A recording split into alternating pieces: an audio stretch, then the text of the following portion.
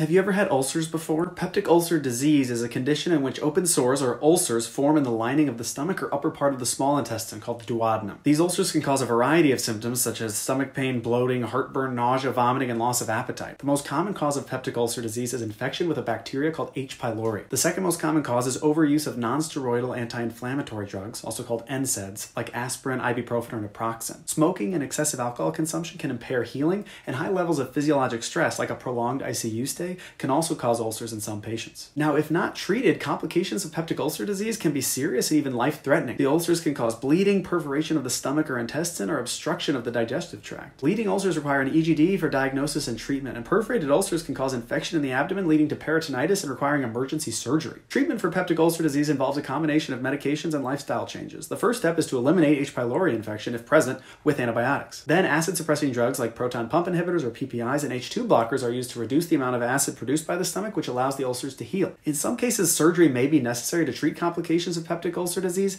but since the development of PPIs, these surgeries are much less common. Peptic ulcer disease is a common condition that can cause significant discomfort and serious complications, but with proper treatment and management, most people with peptic ulcer disease can expect to achieve a good outcome and avoid serious complications. Comment below with questions and what disease I should discuss next.